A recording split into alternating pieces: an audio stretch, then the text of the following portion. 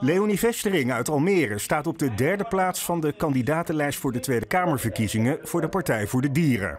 Ik ben ontzettend trots, ook heel dankbaar natuurlijk voor het vertrouwen.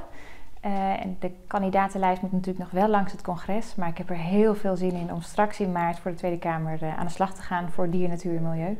Vestering is de derde vrouw op de lijst na lijsttrekker Esther Ouwehand en Eerste Kamerlid Christine Teunissen. Vestering is al jaren fractievoorzitter van de Partij voor de Dieren in Flevoland en Almere. Ja, ik ben hier natuurlijk al meer dan tien jaar geleden gestart bij Wilde Dieren de Tent uit, waar ik als directeur heb gestreden voor het verbod op het houden van wilde dieren in circussen. Dat was heel succesvol, dus ik heb ook als, als lobbyist hè, in de Tweede Kamer gezorgd dat het verbod er kwam. En nu kan ik ook straks aan die andere kant werken. Dus juist ook als volksvertegenwoordiger, als Tweede Kamerlid, strijden voor de, voor de idealen die we samen hebben om de wereld wat mooier te maken, ook voor dieren. De partij won bij de vorige landelijke verkiezingen vijf kamerzetels. Daarmee is de kans groot dat Vestering na de verkiezingen in maart Tweede Kamerlid wordt. Nu wordt de Partij voor de Dieren wel eens een one-issue-partij genoemd.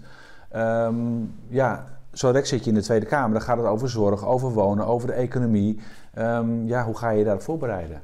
Ja, wij zeggen altijd, het draait inderdaad om één ding en dat is de aarde. Op het moment dat je goed bent voor dieren, op het moment dat je goed bent voor de natuur, dan ben je automatisch een goede partij voor mensen. De definitieve kandidatenlijst wordt half december bekendgemaakt. Ik ben er echt aan toe om ook op landelijk niveau voor deze dieren te knokken. Uh, dus ja, kom maar op.